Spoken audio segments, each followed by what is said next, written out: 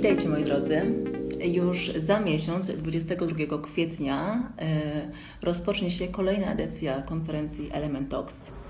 I bardzo się cieszę, że w tym roku nie zabraknie również nas, serwisu Lukreatywnie.pl, czyli pierwszego serwisu o prawie własności intelektualnej dla ludzi kreatywnych oraz mnie w roli prelegenta. Chciałabym Was bardzo serdecznie zaprosić na mój wykład, który odbędzie się już 22 kwietnia o godzinie 11 w sobotę.